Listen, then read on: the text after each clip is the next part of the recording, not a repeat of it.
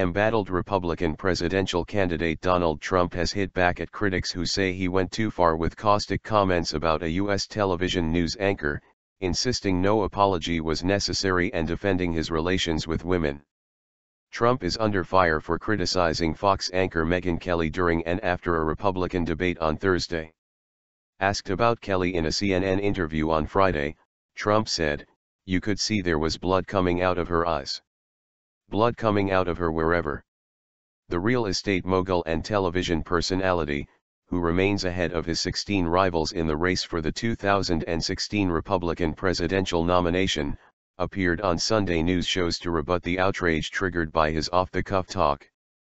I've had such an amazing relationship with women in business. They are amazing executives. They are killers.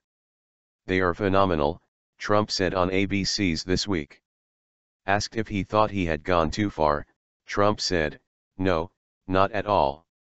Trump told CNN he had great relationships with women and had hired thousands, including many top-level employees, adding, I cherish women.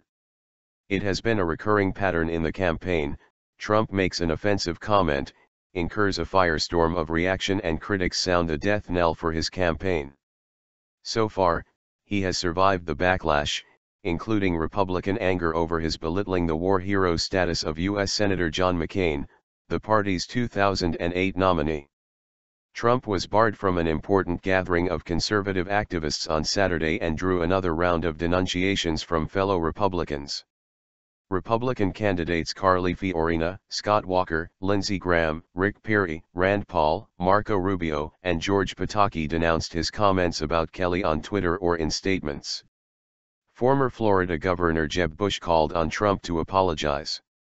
They were completely inappropriate and offensive comments. Period, Fiorina said Sunday on CNN's State of the Union. Fiorina criticized Trump as having gotten angry at Kelly for questioning his comments about women, including calling those he disliked fat pigs and slobs. You cannot have a president who is thin-skinned, the former Hewlett-Packard CEO said on CBS Face the Nation.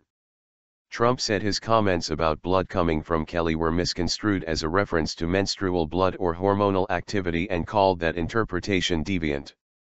He said he meant to say nose, ears, and was implying that she was angry. She asked me a very, very nasty question, he said on This Week. Trump has repeatedly attacked his fellow candidates, accusing Perry, the former Texas governor, of wearing glasses to look smarter and calling Graham, a U.S. Senator from South Carolina, an idiot. On Sunday, he attacked Fiorina on several shows as a failed executive who got fired, then lost a bid for the U.S. Senate by a landslide. He lashed out at Bush as being negative on women's health for his recent comments on funding for women's health programs that drew immediate condemnation from Democrat Hillary Clinton. He took credit for Fox News record ratings of 24 million viewers for the primetime debate, saying of Bush, the man has no energy. Trump dismissed his critics as beholden to political correctness and pointed to the opinion polls as proof that he was winning big all over the place.